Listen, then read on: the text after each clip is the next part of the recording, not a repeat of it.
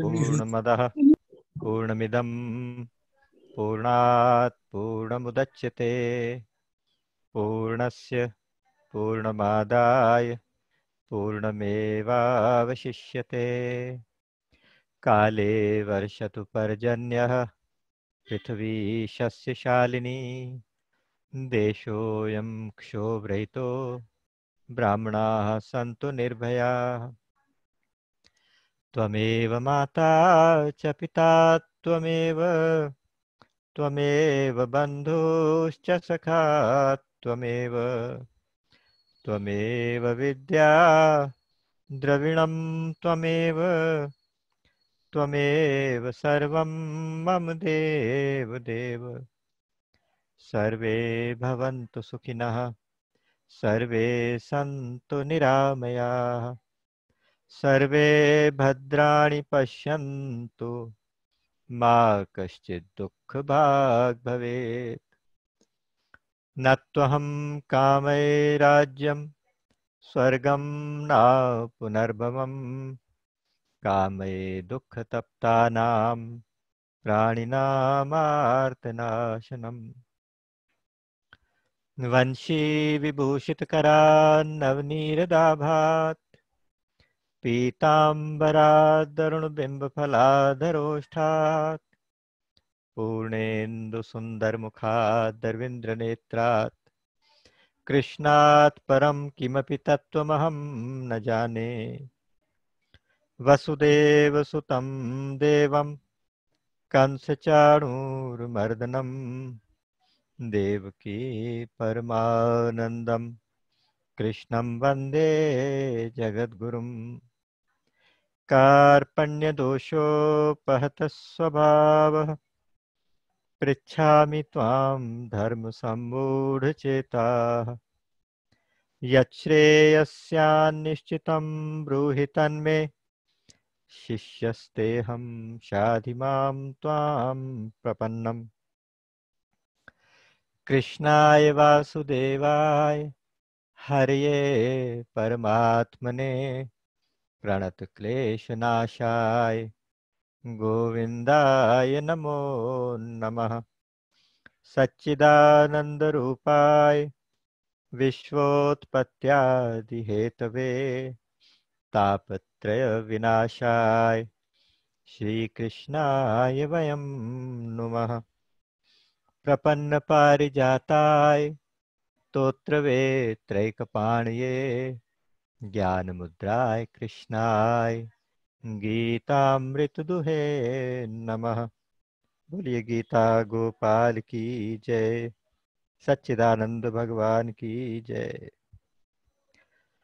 राम। सत्संग मिलना इस बात का प्रमाण है कि भगवान की कृपा हुई। उस अहेतु की कृपा के प्रति नतमस्तक होते हुए आप सबके हृदय में बैठे हुए भगवान श्री कृष्ण के चरणों में नमन और आपका हार्दिक अभिनंदन। श्री अष्टावक्र गीता जी के माध्यम से आजकल हमारा स्वाध्याय चर्चा चल रही है। इसमें अठारहवें प्रकरण में हम लोग श्लोक नंबर 65 तक आ गए थे।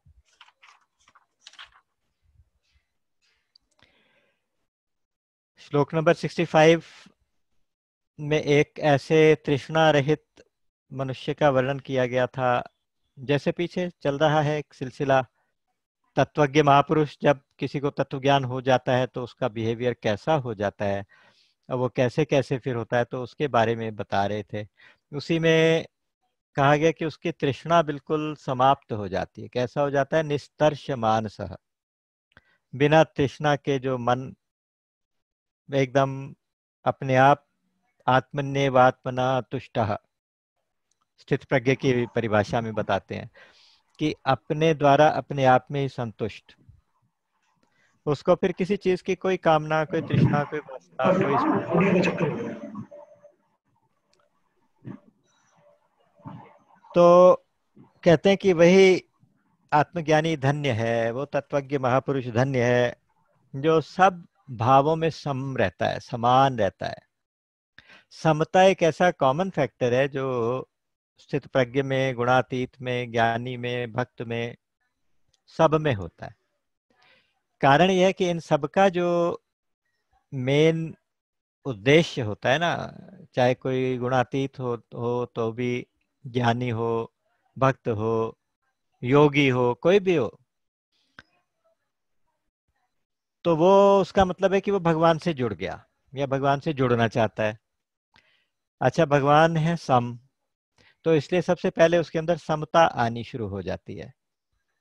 समता का मतलब ये होता है कि बिल्कुल मस्त रहे, संतुष्ट रहे, ना उसे किसी मान की चिंता, ना किसी अपमान की चिंता, कोई निंदा करे, कोई स्तुति करे, कोई फ़र्क नहीं पड़ता उसको। अगर किसी काम में कोई बहुत बड़ा लाभ हो गया तो उछलता नहीं, बहुत बड़ी हानि हो गई तो रोता नहीं। ऐसा नहीं कि बिल्कुल इमोशनलेस हो जाता है, ऐसा नहीं है, बल्कि वो उसकी एक स्टेबल इमोशन ऐसे होती है कि जो सर्वदा आनंद में रहे। जैसे भगवान राम के बारे में कहते हैं ना, सर्वदा सुप्रसन्नम पाणु नाराच चापम, सर्वदा सुप्रसन्नम। भगवान हमेशा सर्वदा सुप्रसन्न है। अच्छा सर्वदा सुप्रसन्न होने का मतलब ये नहीं कि हमेशा उछलते ही रहते हैं? वो कहते हैं, प्रसन्नता यान गताभिषेक तथा न ममले वनवास दुखतः। भगवान का वो मुखाम्बुज, तुलसीदास जी कल्पना कर रहे हैं कि ऐसा मुखाम्बुज, ऐसा मुकमल जिसके ऊपर कोई ऐसी प्रसन्नता या कोई दुख, कोई खेद, खिन्नता ऐसा कोई भी भाव ऊपर से दिखाई नहीं देता। अंदर से वो सर्वदा सुप्रसन्न है, ठीक है। लेकिन उनमें उनको अगर एक बार आपने पिताजी ने घोषणा कर दी कि कल राम को युवराज बना दिया जाएगा, राज्य दे दिया जाएगा तो उनके चेहरे पे कोई ऐसा बहुत ज़्यादा प्रसन्नता नहीं दिखाई दी। उसी तरह शांत, जैसे हमेशा शांत रहते हैं। प्रसन्नता। और उस अभिषेक को अचानक रातों रात कुछ ऐसा हुआ कि पोस्टपोन कर देना पड़ा। कैंसिल कर देना पड़ा पोस्टपोन भी क्यों कहें? कोई फ़र्क नहीं पड़ता। और केवल कैंसिल ही नहीं हुआ, बल्कि कैंसिल के साथ साथ चौदह वर्ष के लिए सारी की सारी सुख सुविधा छोड़ के, नगर का जीवन छोड़ के, जंगल में जाके बसने का ऑर्डर मिल गया। बिल्कुल बिना किसी सहारे। जैसे किसी को कोई दंड दिया गया हो तो भी उनके चेहरे पे कोई उदासी नहीं है। प्रसन्नता ज्ञान गताभिषेक था न ममले वनवास दुख था उनके मुख मुख में कोई म्लानी दिखाई ही नहीं देती। तो जो परमात्मा है, जो ब्रह्म है, वास्तव में वो सम है। वास्तव में वो निर्दोष है। गीता में लिखा गया, निर्दोषम ही समम ब्रह्म। तो इसलिए उनके नजदीकी का सबसे पहला लक्षण साधक के अंदर क्या आएगा? जो साधना शुरू करेगा, कोशिश करना शुरू करेगा तो सबसे पहला लक्षण आएगा कि वो सम होने लगेगा। तो अगर दुख आ गया तो रोएगा नहीं, सुख आ गया तो उछलेगा नहीं, कूदेगा नहीं, अपना एक सा बना रहेगा। क्योंकि उसको प्रसन्नता का वो खजाना मिल गया है कि वो हमेशा सम रहना सीख गया। उसी समता में स्थित इस तत्वज्ञ महापुरुष की क्या अवस्था होती है, उसका हम अवलोकन आजकल कर रहे हैं। आप धीरे धीरे देखिएगा, ये अष्टावक्र जी का सारा का सारा डायलॉग है, सौ के सौ श्लोक। बीच में बीच में जनक जी ने इंटरप्ट भी नहीं किया। और अष्टावक्र जी केवल उसका वर्णन करते करते करते करते एक बात सिद्ध करते हैं, उसके बाद फिर उसको काट के फिर उस कहते हैं, नहीं, ऐसा भी नहीं है। नहीं, ऐसा भी नहीं नहीं, ऐसा भी नहीं। आगे देखिएगा, बहुत मज़ेदार चीज़ें आने वाली हैं। कभी कहते हैं कि वो बिल्कुल निर्भय होता है, उसको कोई भय नहीं होता। फिर कहते हैं, नहीं नहीं, उसके अंदर निर्भयता भी नहीं होती। जैसे जैसे आएगा, उसको हम धीरे धीरे उसका हम डिस्कस भी करेंगे, देखेंगे भी सही। तो यहाँ कल वाले श्लोक में कहा गया था कि वो ऐसा आत्मज्ञ महापुरुष आत्मज्ञानी जो सारे भावों में सम है,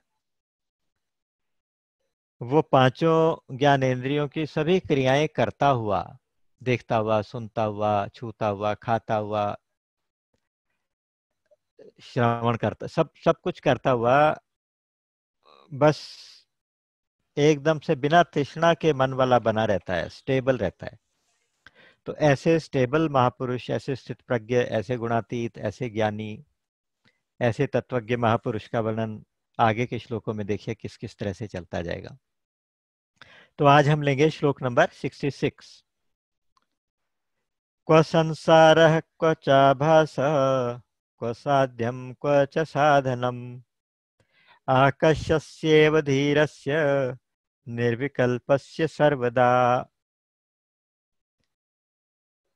जो आकाश की तरह से निर्विकार है। जो ऐसा धीर महापुरुष, आकाश की तरह निर्विकार कैसे होगा?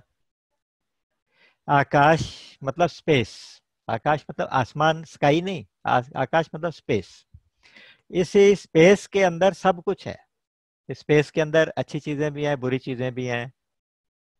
कोई दुर्गंध वाली चीज़ रख दो, कोई सुगंध वाली चीज़ रख दो, कोई खूबसूरत चीज़ रख दो, कोई बदसूरत चीज़ रख दो, कोई नुकीले हथियार रख दो या फूल रख दो तो आकाश निर्विकार रहता है। आकाश तो आकाश ही रहेगा, स्पेस तो स्पेस ही रहेगा। स्पेस के अंदर विचरण करने वाली वायु अपने साथ धूल ले जाएगी, अपने साथ मिट्टी को ले जाएगी और खूब अंधेरा कर देगी, सारी रोशनी धुंधला हो जाएगा कुछ देर के लिए। लेकिन जैसे आंधी शांत होती है तो उसके बाद फिर आकाश तो वैसा का वैसा।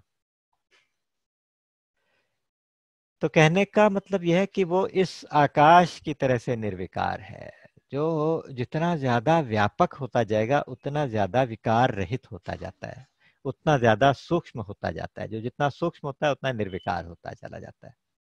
और परमात्मा तो सूक्ष्मतम से भी सूक्ष्मतम है। है ना, जो परमात्म तत्व है या तो ऐसा कहें कि आत्म तत्व है, वो तो सूक्ष्म से भी सूक्ष्म है, विशाल से भी विशाल अणोरणीयान समनुस्मृद्य अणु से भी अणु, ऐसा ऐसा तत्व है। अणु से भी अणु मतलब सूक्ष्म से भी सूक्ष्म। जहाँ तक हमारी बुद्धि कहे कि यहाँ सूक्ष्मता समाप्त हुई, उसके भी आगे। या जहाँ हमारी बुद्धि कहे कि इतना विशाल इतना विशाल, करते करते करते एक विशालता जहाँ पे जाके समाप्त हुई, हमारी बुद्धि की सीमा समाप्त हुई, वो उससे भी ज़्यादा विशाल है।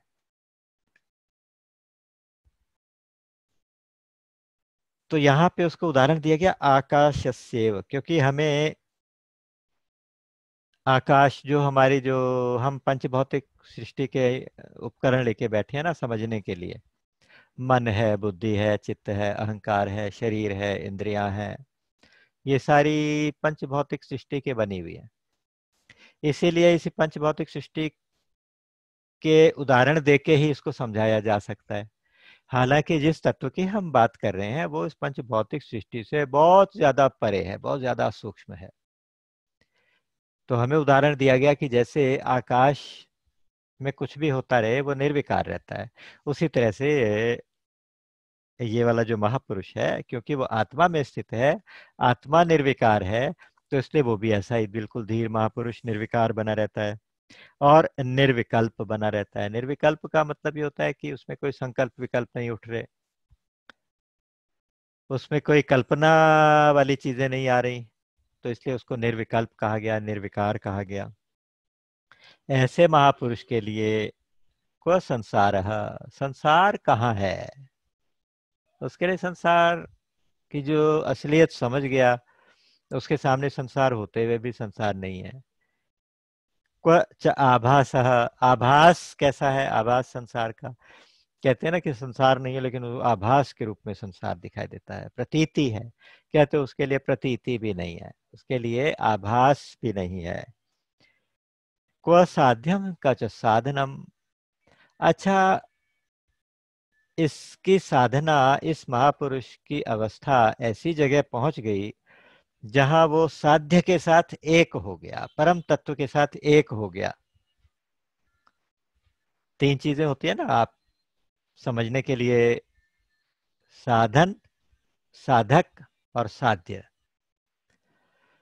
साध्य होता है कि जो हमारा टारगेट है, जो हमारा उद्देश्य है, जो कि परम तत्व की प्राप्ति हमारा उद्देश्य है, वो परम तत्व, वो परमात्मा साध्य है। या वो अवस्था जिसमें हम परमात्मा के साथ एक हो जाए, वो अवस्था, वो साध्य है। अच्छा उसके लिए साधन क्या है? साधन कई तरह के हो सकते हैं, भक्ति हो सकती है, ज्ञान हो सकता है, वैराग्य हो सकता है, जप है, तप है क्रियाएँ हैं, अनुष्ठान है, बहुत सारी चीज़ें हैं, वो सारे के सारे साधन हैं। और इनको करने वाला कहलाता है साधक। जब साधक साधन करते करते साध्य तक पहुँचता है तो साध्य के साथ एक हो जाता है, साध्य के साथ मिल जाता है, मर्ज हो जाता है। जानत तुम्हें तुम्हें हो जाई। कि परमात्मा को जान के, परमात्मा में ही मर्ज हो जाता है, परमात्मा में जाके में, मिल जाता है। तो ऐसी अवस्था में अब साध्य तो कुछ रहा नहीं, खुद ही साधक हो गया, खुद ही साध्य हो गया। बहुत मज़ेदार अवस्था है, आप कल्पना कीजिए कि जब साधक खुद ही साध्य हो गया तो फिर क्या साधन? साधन कहाँ रहा? फिर किसके लिए साधन करेगा? किसके लिए समाधि लगाएगा? किसके लिए ध्यान लगाएगा? किसके लिए जप करेगा, तप करेगा? कहते हैं कि स्वाद, साध्यम, क्वच साधनम। अब उसके लिए साध्य ही नहीं रहा, क्योंकि साध्य वो खुद हो गया। तो साध्य तो कोई है नहीं तो साधन भी समाप्त। तो ऐसे के लिए संसार भी समाप्त, संसार की प्रतीति भी समाप्त, साधन भी समाप्त और साध्य भी समाप्त। ऐसा महापुरुष आकाश की तरह से, आकाश की तरह से निर्विकल्प, निर्विकार रहेगा। उसको किसी से कोई फ़र्क नहीं पड़ेगा। वो समता की बिल्कुल चरम अवस्था में पहुंचेगा। समता अंतकरण की समता होती है जिसमें हम व्यवहार में समता कर लेते हैं। अभ्यास से भी आ जाती है अंतकरण की समता। लेकिन जो आत्मा की समता है ना, जो आत्म स्वरूप की समता है वो साधन साध्य भी नहीं है, वो तो बस जिसको ये आत्मा खुद चूज़ करे, जिसको परमात्मा खुद चूज़ करे, वो उसमें जाके मर्ज हो जाए बस, ऐसा है। उसके लिए केवल जिज्ञासा की ज़रूरत है, केवल जिज्ञासा की। इसी को देखिए आगे फिर कैसे एक्सप्लेन करेंगे। सूत्र नंबर सिक्सटी सेवन। सजयत्यर्थ सन्यासी पूर्ण स्वरस विग्रह अकृत्रिमो अनवच्छिन्ने समाधि वर्तते। कहते हैं कि देखो, स जयति अर्थ सन्यासी अर्थ सन्यासी का मतलब यह है कि जो कर्म फल का त्याग कर चुका ऐसा व्यक्ति। सन्यासी किसको कहते हैं? अनाश्रित है कर्म फलम कार्यम कर्म करोती स सन्यासी च योगी च, न निरग्निर, न चाक्रिया। केवल अग्नियों के त्याग से गीता जी कहती है छठे अध्याय में, पहले श्लोक में, कि केवल अग्नि का त्याग कर दिया तो वो सन्यासी नहीं कहलाता। केवल क्रियाओं का त्याग कर दिया, बिल्कुल शांत होकर बैठ गए तो सन्यासी नहीं है। मान लीजिए किसी ने दंड ग्रहण कर लिया कॉपीन धारण कर ली भगवा वेश धारण कर लिया सिर मुड़वा लिया और आप कहें कि सन्यासी हो गए तो नहीं, ऐसा नहीं होता। सन्यास जो है वो एक अवस्था है। सन्यास को एक क्रिया नहीं है कि आज से मैंने सन्यास ले लिया तो अब, क्योंकि मैंने गेरुआ वस्त्र पहन लिए तो मैं सन्यासी हो गया, क्योंकि मैंने वस्त्रों का त्याग कर दिया, क्रियाओं का त्याग कर दिया, केवल एक कॉपी धारण करके घूमता हूँ तो मैं सन्यासी हो गया। ऐसा नहीं है। सन्यास का मतलब है सम्यक न्यास। न्यास का मतलब त्याग भी होता है, न्यास का मतलब किसी चीज़ को स्टैब्लिश करना भी होता है, रख देना। जैसे शिलान्यास करते हैं, शिला का न्यास कर दिया। तो अगर जो चीज़ जहाँ की है, उसको वहीं पे न्यास कर दिया। जैसे शरीर है, संसार का हिस्सा है। प्रकृति का हिस्सा है। इसको प्रकृति की सेवा में दे दिया। आत्मा है परमात्मा का अंश, है ना? तो इसको परमात्मा में लगा दिया।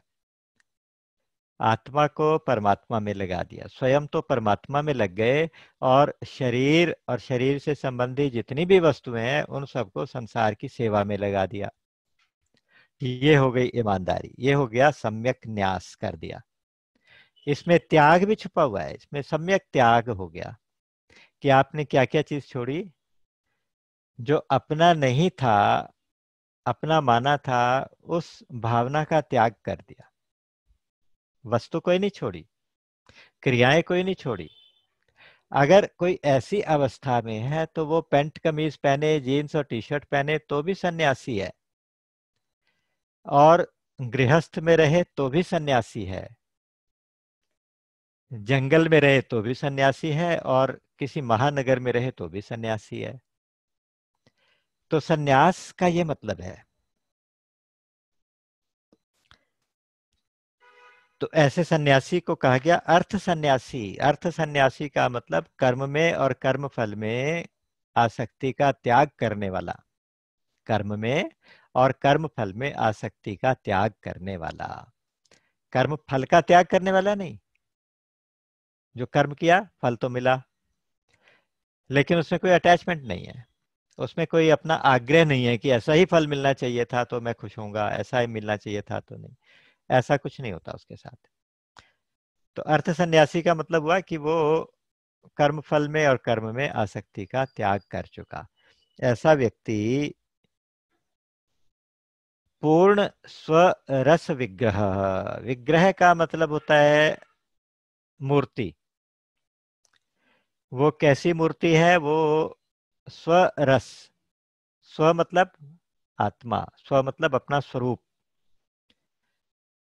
तो अपने स्वरूप के रस में, अर्थात परमानंद में, परमानंद का एक विग्रह बन गया, परमानंद की एक मूर्ति बना हुआ है वो तो परमानंद की मूर्ति बन गया। पूर्ण आनंद, स्वरस विग्रह।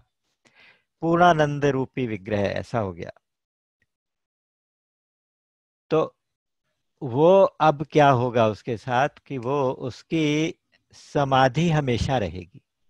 उसको समाधि के लिए क्रिया नहीं करनी पड़ेगी।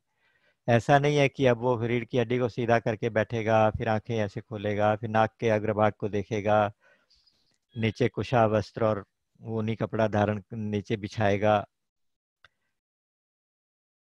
और धीरे धीरे मन को कंट्रोल करेगा। जैसी प्रोसेस बताई जाती है ध्यान की। समाधि में जाने के लिए। कहते हैं कि उनको अब उस क्रिया की, उस प्रोसेस की अब ज़रूरत नहीं है। ऐसा नहीं कि वो बेकार है, वो बातें वो बातें अभ्यास के लिए हैं ही हैं, वो तो खैर साधकों के लिए हैं। लेकिन यहाँ जिस सिद्ध महापुरुष की बात हो रही है तो उसको अब उन क्रियाओं को करने की ज़रूरत नहीं होती। उसकी समाधि स्वाभाविक समाधि है। कैसी है? अकृत्रिम। अकृत्रिम। कृत्रिम का मतलब होता है बनावटी। अकृत्रिम का मतलब होता है नेचुरल स्वाभाविक समाधि। और कैसी समाधि? अनविच्छिन्न। अनविच्छिन्न मतलब जो कभी ना टूटे, निरंतरता बनी रहे जिसमें, जिसकी निरंतरता लगातार बनी रहे ऐसी समाधि। तो वो हमेशा पूर्णानंद में डूबा हुआ है। पूर्णानंद का एक समय, एक तरह से आत्मानंद का वो विग्रह बन गया है, वो उसकी मूर्ति बन गया, आनंद की मूर्ति बन गया है। तो ऐसा व्यक्ति हमेशा समाधि में है। उसको फिर किसी समाधि के लिए प्रोसेस करने की ज़रूरत नहीं होती।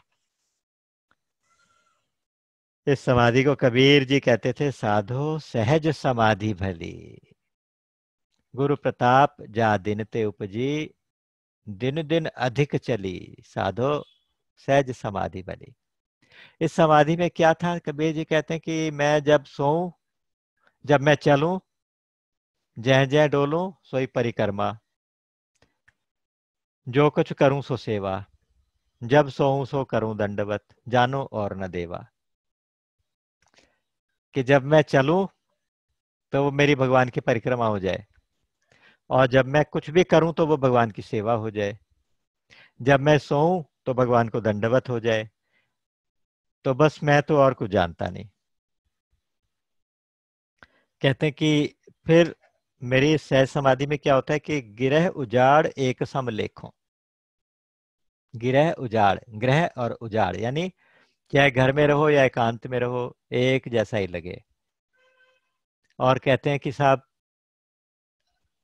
उसके लिए मुझे आँख न मूंदो, कान न रूंधो। कान बंद नहीं करने, आँख बंद नहीं करनी। बस, मैं तो खुली आँखों से हंस हंस के भगवान का दर्शन करूँ। जहाँ जहाँ देखूँ वहाँ वहाँ मुझे भगवान दिखाई दें। यत्र यत्र मनो याति तत्र तत्र समाधया। बहुत सुंदर अवस्था है। इसमें कहते हैं कि आप सब कुछ कर रहे हैं, चारों तरफ़ घूम रहे हैं, चारों तरफ़ आपको केवल परमात्मा ही परमात्मा दिखाई देने लगा। केवल अपना अपना ही स्वरूप, अपनी आत्मा ही दिखाई देने लगी। तो फिर अब क्या ज़रूरत है किसी आँख बंद करके, कान बंद करके क्रियाओं को करने की? अब तो लगातार आपके सामने भगवान स्वयं प्रकट है। यो माम पश्यति सर्वत्र सर्वम च मई पश्यति। तस्याहम न प्रणश्यामी, स च में न प्रणश्यति, भगवान के शब्द हैं कि जो मुझे सब तरफ़ देख ही लेता है अपने आप। और जो सबको मेरा ही स्वरूप समझ लेता है तो वो मेरे से कभी छिप ही नहीं सकता और मैं उससे कभी छिप नहीं सकता। भगवान हमारे साथ जैसे ना लुका छिपी का खेल खेलते हैं। उस लुका छिपी में अगर आपको भगवान सामने दिखाई दे जाए, जहाँ आपकी नज़र जाए सामने दिखाई दे जाए तो भगवान कहाँ छिपे? जब आपका भाव ऐसा हो गया कि सब जगह भगवान है और आपकी अंदर की आँखें सब तरफ़ भगवान को देखने लगे, स्थूल आँखें ना देखें तो कोई बात नहीं, लेकिन अंदर से दिखने लगे। जब दिखने ही लगे तो भगवान कहते हैं कि अब मैं उससे कहाँ छिपूं? कहा छुपूं? जहाँ मैं छिपता हूँ तो वहाँ तो मुझे देखता ही रहता है हर तरह हर समय। और इस व्यक्ति की नज़र से भगवान कभी नहीं छुपते और भगवान की नज़र से वो वो वो साधक कभी नहीं छिपता। भगवान की नज़र में तो हम है ही हैं। भगवान तो सर्वव्यापक हैं, सर्वांतर्यामी है, क्योंकि जो सर्वत्र है और सर्वम है, सब तरफ़ है और सब में है, सब सब वही है। तो ऐसी अवस्था में फिर मेरे अंदर कौन है? मेरे अंदर भी वही है। और फिर मैं कौन हूँ? मैं भी वही हूँ। आप कल्पना कीजिए। ऐसी अवस्था में भगवान की नज़र से कोई कैसे छिपे? और ऐसे साधक की नज़र से भगवान कैसे छिपे? तो ऐसी अवस्था में कहा जाता है कि ये समाधि की अवस्था है। समाधि के भी कई कई अर्थ होते हैं। वेदांती लोग समाधि को आत्म साक्षात्कार की अवस्था कह देते हैं। योग में समाधि को चित्तवृत्तियों के निरोध को कह देते हैं।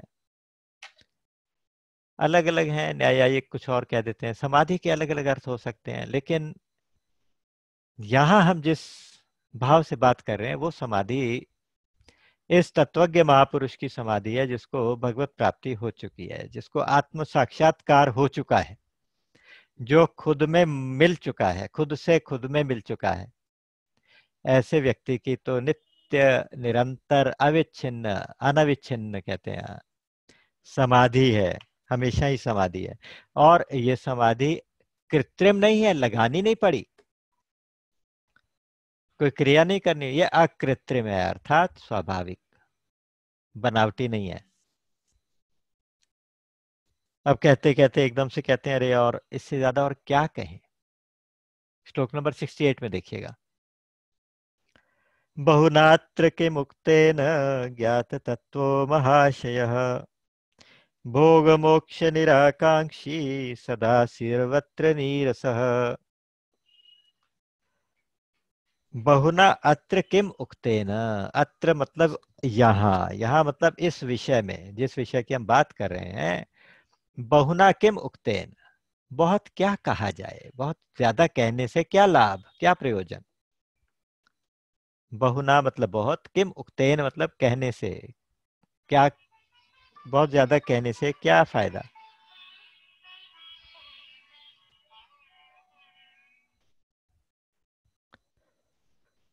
बहुना, बहु, बहुनात्र किमुक्तेन ज्ञात तत्व महाशय, ये महाशय, ये जो महात्मा है, ये जो महापुरुष है, कैसा महापुरुष? ज्ञात तत्व, अर्थात तत्वज्ञ तत्व को जानने वाला, तत्ववेत्ता। अच्छा यहाँ तत्व की बात में मुझे एक बहुत सुंदर बात याद आई। स्वामी अखंडानंद जी कहा करते थे, कहते थे, तत्व का मतलब मालूम है क्या होता है? तत्व में तत्व में दो शब्द छिपे हुए हैं, तत् और त्व। डबलता होता है ना? तत् और त्व। त्व का मतलब होता है त्वम, तुम। तत् का मतलब होता है वह। यानी तत्वम असी, इसका शॉर्ट फॉर्म है तत्व ये जो महावाक्य है तत्वम असी, वेदों का महावाक्य, कि यू आर दैट तुम वही परमात्मा, तुम हो। ये अपने आप को, ये शिष्य को गुरु श्रवण करा रहे हैं। कि ये तुम हो। तो जो इस भाव को पढ़ गया, जो इस भाव को, भाव में दृढ़ हो गया, इसका मतलब वो तत्वज्ञ हो गया, तत्व को जानने वाला हो गया। है ना? तत्व को जानने वाला तत्व से अलग नहीं होता। ये जो बात हम कई बार कह चुके लेकिन हमें अपनी, क्योंकि हमारे पास लिमिटेड शब्दकोश है लिमिटेड वोकेबलरी है तो समझने के लिए कह देना पड़ता है कि तत्वज्ञ हो गया, तत्ववेत्ता हो गया, तत्व को जानने वाला हो गया। तत्व को जानने वाला शब्द, ये एक्चुअली देखा जाए तो मिसनॉमर है। मिसनॉमर का मतलब शब्द तो है, लेकिन वास्तव में इसका शब्दार्थ करेंगे तो गलत हो जाएगा, क्योंकि तत्व को जानने वाला, इसका मतलब तत्व अलग हो गया, जानने वाला अलग हो गया। अलग हो गया तो इसका मतलब वो अभी तत्व को नहीं जाना। तो कहने का मतलब है कि ये हमारे समझने के लिए सारी शब्दावली है। तो इसीलिए क्योंकि शब्दों में वो वर्णन नहीं किया जा सकता, इसीलिए इतना लंबा वर्णन करना पड़ता है। और कह के फिर एकदम कहना पड़ता है कि नहीं नहीं, ऐसा नहीं है, ऐसा ऐसा नहीं, ऐसा। तो इसकी, इस महापुरुष की अवस्था को कह रहे हैं कि ऐसा ज्ञात तत्व, ऐसा तत्व को जानने वाला महाशय, महापुरुष कैसा होता है? भोग, मोक्ष, निराकांक्षी और सदा सर्वत्र नीरसा। वो भोग नहीं चाहता। स्वाभाविक है, भोग नहीं चाहता, क्योंकि जी बिल्कुल अगर आप देखें तो शुरू शुरू के श्लोकों में क्या है कि मुक्त मिच्छसी चेतात विषयान विश्वत्यज। हेतात अगर तुम मुक्ति चाहते हो तो विषयों को विष की तरह से त्याग दो। तो विषय तो त्याग के आया है, तभी तो मुमुक्षु बना है। है ना? क्योंकि विवेक हुआ, वैराग्य हुआ, षट संपत्ति आई, तभी तो मुमुक्षुता जागृत हुई। एक क्रम होता है, कई बार डिस्कस कर चुके हैं, उसको डिटेल नहीं जाएँगे। है ना? पहले होता है विवेक। विवेक का मतलब कौन सी चीज़ नित्य है, कौन सी अनित्य है? कौन सी रहने वाली है, कौन सी नष्ट होने वाली है? तो नित्य नित्य का विवेक हो गया, फिर वैराग्य होता है। वैराग्य के बाद षट संपत्ति आती है। शम दम तितिक्षा प्रति श्रद्धा समाधान। इस इस तरह से षट संपत्ति आती है। षट संपत्ति के बाद मुमुक्षता आती है। मुमुक्षता मतलब मोक्ष की जिज्ञासा जागृत होती है। तत्व ज्ञान की, तत्व प्राप्ति की जिज्ञासा जागृत होती है। तो ऐसा जिज्ञासु हो गया तो विषयों से तो विरक्त हो ही गया। तो भोग का निराकांक्षी हो गया तो समझ में आती है, लेकिन यहाँ क्या भोग, मोक्ष, निराकांक्षी। अब वो मोक्ष का भी आकांक्षा नहीं, मोक्ष की भी इच्छा नहीं करता। अब उसको मोक्ष की भी इच्छा नहीं, भोग की भी, मोक्ष की भी कोई इच्छा नहीं है, क्योंकि सारी कामनाएँ शांत हो चुकी हैं। तो अब क्या रहेगा? सदा सर्वत्र नीरस, हमेशा नीरस रहेगा। नीरस का मतलब ये होता है कि वो अब विषयों में, संसार में रस लेना बंद कर चुका है।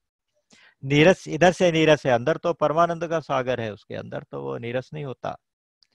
उसके अंदर की अवस्था में तो अंदर के अंतरतम में तो बिल्कुल आनंद का सागर उमड़ता है। तो ऐसे व्यक्ति को बाहर से कहते हैं कि वो नीरस हो गया। हाँ सर्वत्र राग रहित आप कह सकते हो, आसक्ति रहित। विषयों में रस नहीं लेता, ऐसा व्यक्ति। सदा सर्वत्र निरस, भोग का भी आकांक्षी नहीं होता, इच्छुक नहीं होता और मोक्ष का भी इच्छुक नहीं होता। सूत्र नंबर सिक्सटी नाइन। महदादि जगद्वैतम नाम मात्र विजृंभितम।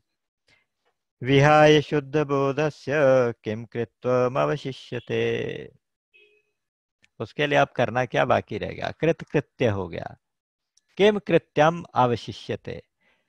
कृत्यम किम अवशिष्यते? उसके करने योग्य कौन सा काम है जो शेष रह गया? किसके लिए? उस शुद्ध बोध महापुरुष के लिए। शुद्ध बोध मतलब जो इस परम तत्व में, शुद्ध बोध में जागृत हो गया, जिसको इसका बोध के साथ एकता हो गई जिसकी। है ना, इसको ज्ञान नहीं कहते। इसको और कोई शब्द नहीं देते, बोध मात्र कह देते हैं।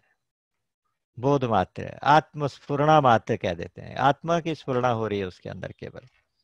और की स्फुरणा हो ही नहीं रही। स्फुरणा मतलब संकल्प से भी पहले, किसी विचार के उठने से पहले जो भाव आता है, उसको स्फुरणा कहते हैं। तो वो उसका ओरिजिन जो उसका अंकुर है, वो आत्मा से ही है। तो ऐसा व्यक्ति शुद्ध बोध कहलाएगा। इसलिए कहते हैं जैसे बुद्ध को बोध प्राप्ति हुई तो उसके बाद उनका नाम हो गया बुद्ध। गौतम बुद्ध को जब बोध प्राप्ति हुई, बोध प्राप्ति मतलब बोध बोध साक्षात्कार, जब उनका आत्म साक्षात्कार हुआ तो वो फिर बुद्ध कहलाए। ऐसा बुद्ध महापुरुष इस सारे जगत के जो भिन्न भिन्न नाना स्वरूप हैं, ये मिथ्या है, ऐसा भाव जिसके मन में आ जाता है। वे जिम्भितम का मतलब होता है कि अलग अलग बटा हुआ। महद आदि जगत द्वैतम, नाम मात्र विजृंभितम तो महत होता है, जैसे सांख्य शास्त्र का या थोड़ा सा रेफरेंस देना पड़ेगा। सांख्य में जो कपिल जी का सांख्य है, कपिल मन मुनि का सांख्य है, उसमें सृष्टि कैसे बनी इसके बारे में वो स्टेप बाय स्टेप बताया गया, बिल्कुल बहुत साइंटिफिक है सारा। उसमें सबसे पहले क्या होता है मूल प्रकृति होती है, मूल प्रकृति जड़ होती है, उसके अंदर हलचल होती है भगवान की प्रेरणा से, परम पुरुष, परमात्मा जो है उनकी प्रेरणा से मूल प्रकृति के अंदर, जड़ प्रकृति के अंदर कुछ हलचल होती है। उस हलचल के बाद सबसे पहला तत्व जो प्रकट होता है, वो कहते हैं महत्व। महत्व का मतलब होता है कि जो बुद्धि, समष्टि में जो बुद्धि है, उसका नाम महत है। उसके बाद अहंकार आएगा, उसके बाद पाँच तन मात्राएँ आएँगी, फिर पंच महाभूत आएँगे, फिर उनका पंचीकरण, वो बहुत सारे लंबा प्रोसेस है। कहने का मतलब है जो सबसे पहला तत्व, जो महत तत्व था, महत आदि जितना ये जगत है, उन्होंने ऐसे कहते हैं महत आदि जगत द्वैतम, ये सारा जगत का जो द्वैत है, सारे जगत जो द्वैत रूप में विजृंभित दिखाई देता है बटा हुआ दिखाई देता है, ये नाम मात्र का है। नाम मात्र का मतलब क्या है? कि कहने को अलग अलग है, लेकिन वास्तव में एक ही तत्व है, जिसको ये पता चल गया, उस शुद्ध बोध स्वरूप महापुरुष। वो इसको, इस भाव को विहाय, छोड़ देता है इस भाव का त्याग कर देता है कि ये बटा हुआ है। इसको द्वैत को देखता ही नहीं जो, है, उस द्वैत का त्याग कर दिया जिसने एक तरह से। द्वैत भाव का त्याग करने वाले उस महापुरुष के लिए किम कृत्यम अविशिष्यते? उसके लिए क्या करना कर्तव्य रह गया? बाकी कुछ भी नहीं रहा। क्योंकि जो चीज़ प्राप्त करनी थी, प्राप्त कर चुका। जो जानना था, जा, जान चुका। जो करना था, कर चुका। स्वामी जी कहा करते थे, वो हो गया कृत कृत्य प्राप्त प्राप्तव्य, ज्ञात ज्ञातव्य। जो करने लायक काम था, कर चुका। जाने लायक था, जान चुका। पाने लायक था, पा चुका। इस अवस्था में अब उसके लिए कोई भी कर्तव्य बाकी नहीं है, उसकी कोई भी अब ज़िम्मेदारी नहीं, कोई ड्यूटी नहीं बनती। बस केवल भाव सिर्फ़ इतना पक्का रखना है कि संसार को बनाने वाला और संसार बनने वाला एक ही है। ये सारा जगत एक ही तत्व की सारी अभिव्यक्ति है। भिन्न भिन्न रूपों में दिखाई ज़रूर देता है, लेकिन ये भिन्न भिन्न है नहीं, एक ही तत्व है।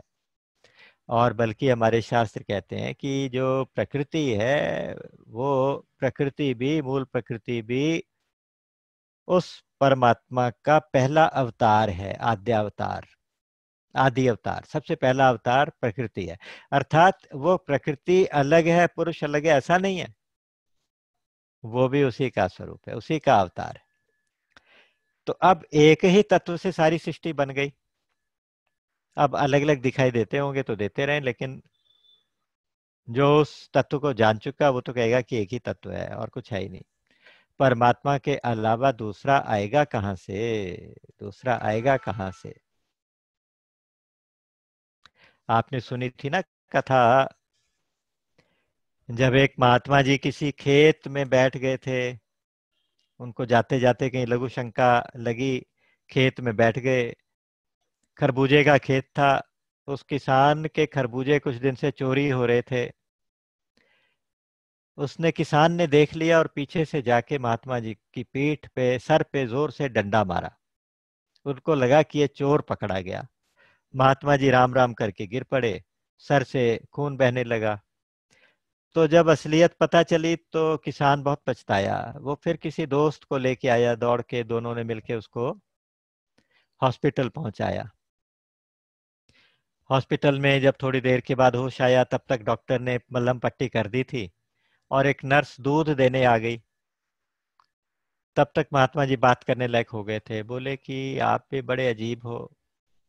पहले तो डंडा मारा और फिर मुझे उठा के यहाँ लेके आए। फिर आपने मेरी मलम पट्टी की और आप दूध देने आ गए हो। कैसे अजीब हो? तो नर्स घबरा गई, वो समझ नहीं पाई। वो बोली कि, नहीं महाराज जी, मैं तो अभी आई हूँ, मुझे तो पता ही नहीं आपको किसने मारा। मैंने तो नहीं डंडा मारा, ना मैंने पट्टी की, आपकी पट्टी तो डॉक्टर ने की। वो मारने वाला कोई और होगा, मुझे नहीं पता, मैं तो आपको दूध देने आई हूँ। तब महात्मा जी ने कहा कि, भाई बेटिया, मुझे बताओ कि दूसरा आएगा कहाँ से? दूसरा है कहाँ? तो जिन महापुरुषों की ये दृष्टि हो जाती है कि दूसरा कहाँ से आएगा? एक ही तत्व का सारा का सारा ये पसारा है। सारा का सारा जो, ये जो तमाशा है, एक ही तत्व से बना हुआ है। तो जो उस एक तत्व को जान गया, वो तत्वज्ञ महापुरुष, उसके लिए फिर कुछ भी करना, कराना, पाना बाकी नहीं रहता। श्लोक नंबर सेवेंटी। भ्रमभूतमिदं सर्वं किञ्चिन्नास्तीति निश्चयी। अलक्ष्यस्फुरणः शुद्धः, स्वभावेनैव शाम्यति। ऐसा व्यक्ति कैसा है कि जैसे क्या निश्चय कर लेता है कि ब्रह्म भूतम इदम सर्वम। ये जितना भी संसार दिखाई देता है, केवल एक भ्रम मात्र है, केवल एक इल्यूजन है। ये वास्तव में किंचित न अस्ति, इति निश्चय। किंचित न अस्ति, ये कुछ भी नहीं है, कुछ भी नहीं है, जो दिखाई देता है, ये ऐसा नहीं है। न रूपमस्येह तथोपलभ्यते। जैसा दिखाई देता है, ऐसा इसका वास्तविक स्वरूप नहीं है। किंचित न अस्ति, इति निश्चय, जिसको इस प्रकार का निश्चय हो गया, ऐसा महापुरुष। क्या कहता है कि भ्रम भूतम इदम सर्वम इदम सर्वम भ्रम भूतम ये सारा का सारा जो दिखाई देता है, ये सारा का सारा तमाशा भ्रम मात्र है, केवल भ्रम है। अच्छा उसके अंदर हो क्या रहा है? अलक्ष्य स्पूर्ण अलक्ष्य का स्फुरण हो रहा है। अलक्ष्य मतलब जो देखा ना जा सके। अर्थात आत्मा, अर्थात परमात्मा। उसकी स्फुरना उसके अंदर हो रही है। ऐसा शुद्ध महापुरुष, ऐसा शुद्ध, कभी कहते हैं बुद्ध, कभी कहते हैं धीर, कभी कहते हैं निराकुल, कई तरह की बातें इस महापुरुष के लिए कही जाती हैं। तो ऐसा शुद्ध महापुरुष स्वभावेन एव स्वभावेन एव शाम्यति। स्वभाव से ही शांत हो जाता है। स्वभाव से ही शांत हो जाना मतलब उसे शांति के लिए बैठना कोशिश करनी नहीं पड़ती। उसकी शांति कहीं बाहर के ऊपर आधारित नहीं है। कई बार होता है ना, जैसे हमें कोई बाहर से कोई डिस्टर्ब कर रहा हो तो हम कहते हैं, थोड़ा शोर मत मचाओ, थोड़ा शांत रहो। हम क्यों? हम शांति चाहते हैं। तो अगर हम बाहर से डिस्टर्ब हो रहे हैं तो हम कहते हैं कि बाहर शांत हो जाए तो शायद हमें शांति मिले। ये बाहर की शांति होती है। अगर बाहर से सब शांत हो भी जाए, बिल्कुल एकांत में जाके भी बैठ जाओ तो भी आप बेचैन हो सकते हो। क्योंकि अगर अंदर की शांति नहीं होगी तो फिर बाहर की शांति से कोई ज़्यादा लाभ नहीं होता। बिल्कुल एकांत में जाके भी फिर कहीं ना कहीं, क्योंकि बहुत सारी बातें आ जाती हैं। कभी तो छोटी छोटी बातों में डिस्टर्ब हो जाते हैं। कभी अपने स्वभाव में क्रोध के कारण परेशान हो जाते हैं। कभी पर दोष दर्शन की वजह से परेशान हो जाते हैं। कभी अहंकार की वजह से परेशान हो जाते हैं। ये चार भाव मैंने इसलिए कहे, चार बातें। इसके लिए एक उदाहरण देता हूँ। क्योंकि ये चार होती हैं जो हमें, हमारी साधना से अक्सर डिगाती है। ये बहुत ध्यान वाली बात है। आप देखिए, एक जगह है चार साधु। बैठ के एकांत में तपस्या कर रहे थे। उनका ये नियम था कि आपने दो घंटे लगातार बैठना है। अंधेरे कमरे में बैठ जाते थे, एक मोमबत्ती जला लेते थे बस। उसी के ऊपर ध्यान लगाते थे और मौन रहते थे। ऐसी मौन साधना करके करते एक बार क्या हुआ? एक दिन बैठे तो हवा का झोंका आया और मोमबत्ती बुझ गई। तो पहला जो साधु था वो अचानक बोल पड़ा, ओहो, मोमबत्ती तो बुझ गई। तो दूसरा व्यक्ति एकदम गुस्से से बोला, चुप रहो, तुम्हें पता नहीं कि हम मौन साधना कर रहे हैं। जो बोला कि मोमबत्ती बुझ गई, उसका भी मौन खत्म हो गया। जो गुस्से से बोला, उसका भी मौन खत्म हो गया। और तीसरा व्यक्ति जो बैठा था, वो बोला कि क्या करते हो? तुम लोग आपस में झगड़ा क्यों करते हो? क्या हो गया बुझ गई तो? वो और ज़्यादा इस तरह से बोला। और तीस, जो चौथा व्यक्ति था, वो चुपचाप बैठा रहा। वो बड़ी शांति से बोला कि अच्छा हुआ, मैं नहीं बोला। अच्छा हुआ, मैं तो शांत रहा, मैं तो मौन रहा। पहले वाला व्यक्ति मोमबत्ती बुझ गई। उससे एकदम परेशान हो गया मतलब थोड़ी सी डिस्टरबेंस से उसकी शांति खत्म हो गई। बाहर की थोड़ी सी डिस्टरबेंस और उसकी शांति खत्म हो गई। दूसरा व्यक्ति तैयारी से बैठा था, देखता रहे कि देखो कौन क्या गलती करता है। वो दूसरों के दोषों की तरफ़ दृष्टि लगा के बैठा हुआ था। तो एकदम से उसने टोका, देखो तुम मौन था, तुम बोल पड़े हो बीच में। तीसरा और क्रोध से बोल पड़ा कि तुम दोनों झगड़ा क्यों कर रहे हो? आपस में चुप करके क्यों नहीं बैठते हो? तीसरा, क्रोध की वजह से बोल पड़ा, उसकी साधना खत्म हो गई। और चौथा, अहंकार की वजह से। कि देखो, मैं कितना महान हूँ, मैं नहीं बिल्कुल बोला। तो किसी भी साधना में, किसी भी मार्ग में से आप जाएँ, अगर भक्ति में, ज्ञान में, कर्म में तो ये चार बातों से बहुत सावधान रहना चाहिए। एक तो छोटी छोटी बातों से डिस्टर्ब होना बंद कर दें। दूसरा, दूसरे के दोषों की तरफ़ दृष्टि डालना बंद कर दें। जो जैसा है वैसा चलता रहेगा। हमारे तो एक्चुअली एक टेंडेंसी बन जाती है हमारी। जब हम सड़क पे गाड़ी चलाते हैं तो हमारी दृष्टि अपने ऊपर कम दूसरों पे ज़्यादा रहती है। देखो, एक सावधानी से ड्राइव करने के लिए ठीक है, दूसरों की तरफ़ दृष्टि रहे तो ठीक है, दूसरे की गलती एंटीसिपेट कर ली, खुद को बचा लिया। वो तक समझ आता है।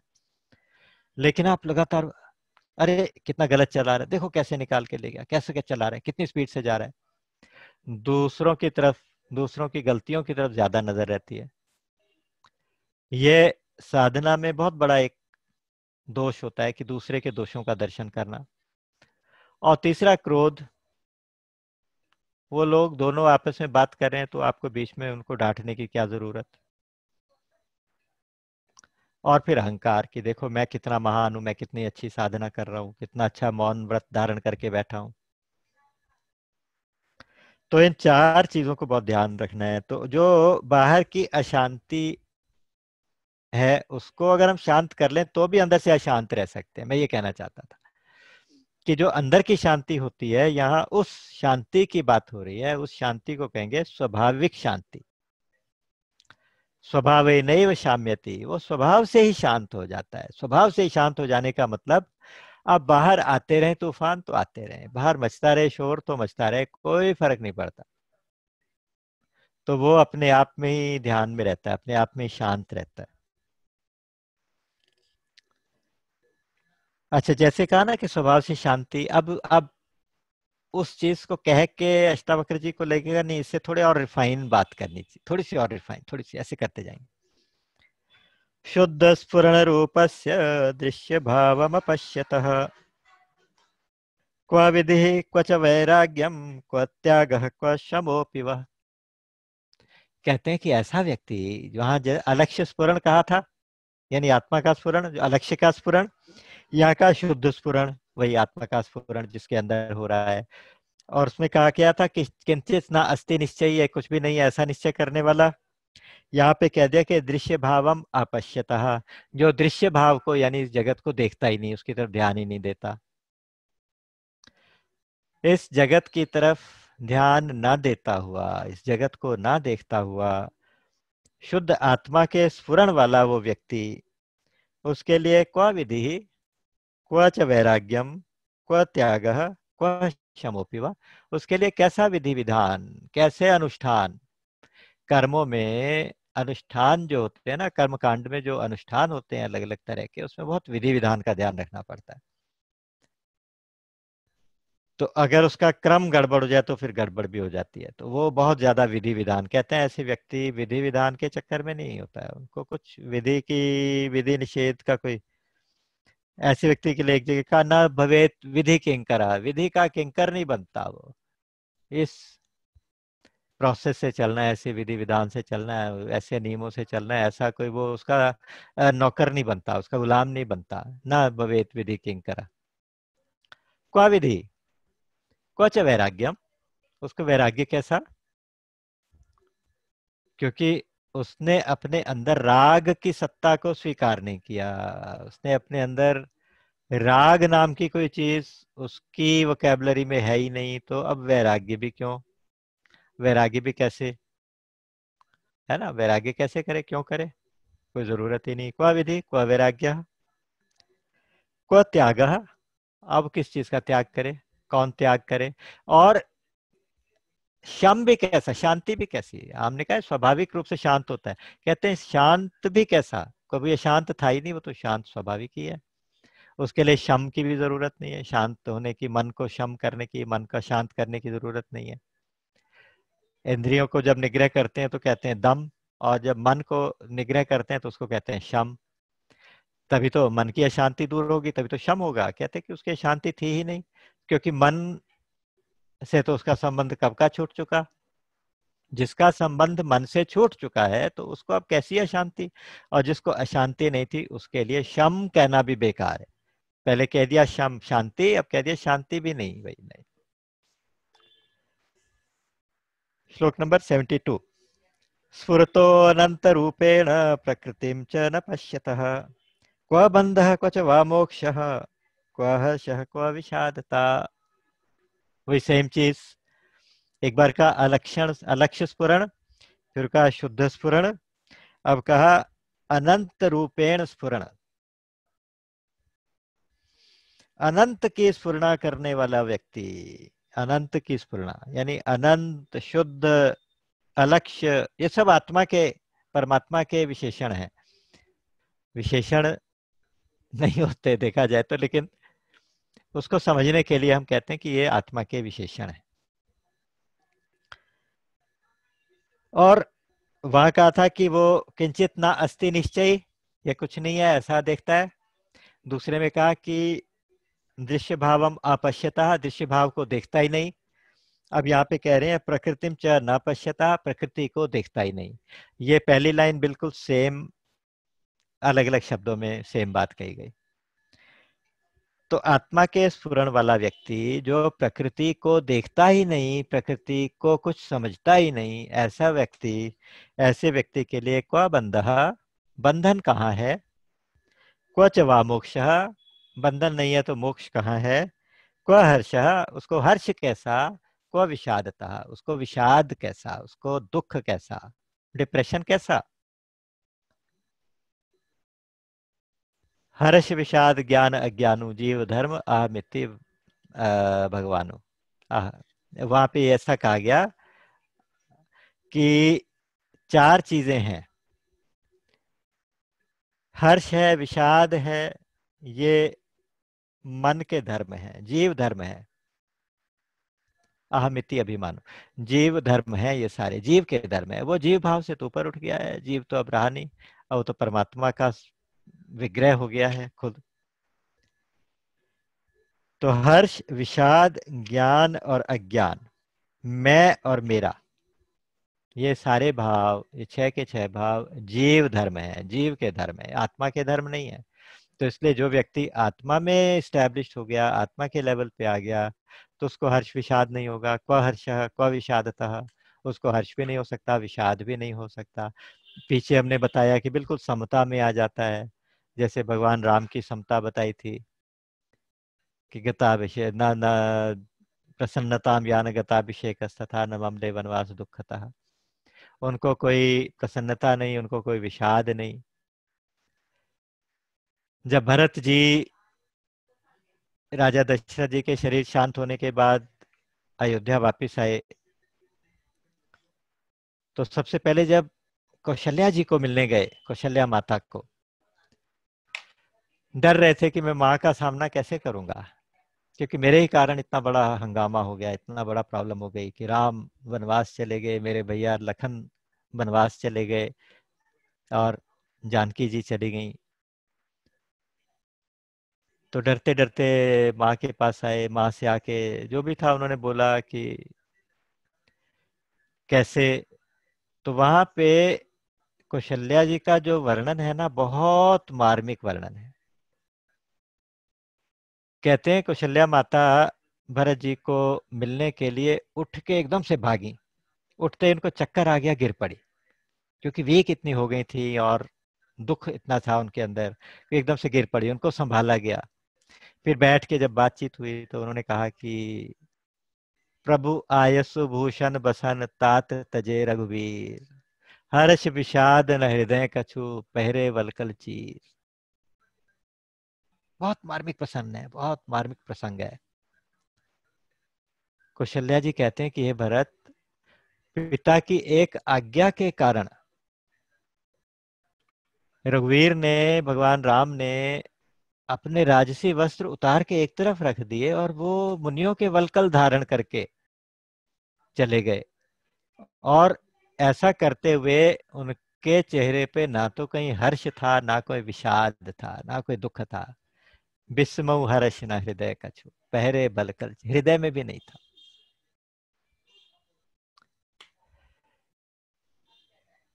वहाँ बहुत सुंदर प्रसंग है, बहुत सुंदर प्रसंग है। वो कौशल्या जी तो कहते हैं कि बस मैं, कैसा मेरा राम का प्रेम, कैसा मेरा प्रेम है, मुझे तो कहते हुए भी शर्म आ रही है कि राम चले गए और मैं ज़िंदा बैठी हूँ। और ये सब मेरी आँखों के सामने हुआ। उनको देख के लखन भी साथ चले गए, जानकी भी साथ चली गई। तीनों के तीनों मेरी आँखों के सामने चले गए। और फिर भी मेरे इस जीव ने, मुझ जीव ने ये शरीर को नहीं छोड़ा। कितना अभागा जीव है ये। कितना अभागा जीव है। और मैं भगवान राम की माँ कहलाती हूँ। तो वहाँ बहुत सुंदर, लेकिन यहाँ जो तत्व की बात मैं यहाँ बताना चाह रहा था वो ये था कि हर्ष और विषाद।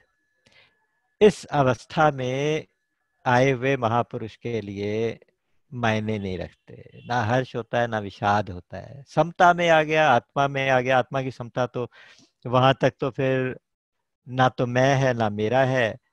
जीव का भाव वहाँ तक है ही नहीं। तो जीव भाव से ऊपर उठ जाए, उठ गया। तो यहाँ पे कहा गया कि साहब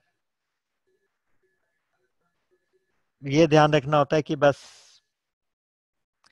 ये सारा जगत जो बदलने वाला जगत है, ये तो नहीं रहेगा। मैं रहूँगा। आप देखिएगा, जितनी भी वस्तुएँ हैं, जितना भी यह तत्व है, वो मैं के बिना नहीं रहता। लेकिन मैं यह के बिना रहता है। ये सूत्र की बात है बहुत सुंदर बात है। इसको फिर आगे चर्चा करेंगे, क्योंकि आज मुझे समय का पता नहीं चला, एकदम से समय भी हो गया।